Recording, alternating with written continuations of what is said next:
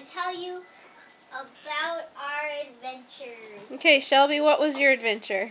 My adventure was we went to go get moss out of the lake and my flip flop came off. So now I only have one left flip flop. Nice. Grace, what was your adventure today? My adventure was canoeing for the first time. I was a little scared at first, but then I got the hang. She was awesome. She was awesome. Kayla, what was your adventure?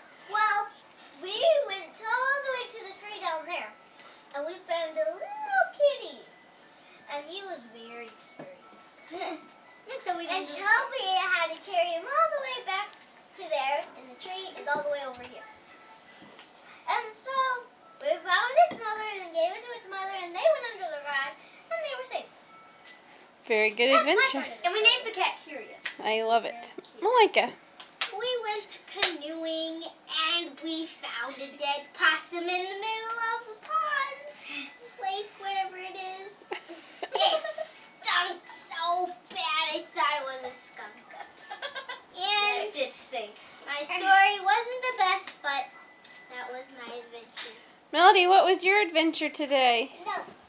I didn't say what she say about a drink or whatever. oh, she was excited about her drink today. What else did you do today, Fuzzy? No. Shelly, what was your adventure today? It's Hot. It's hot. you're good, you're good.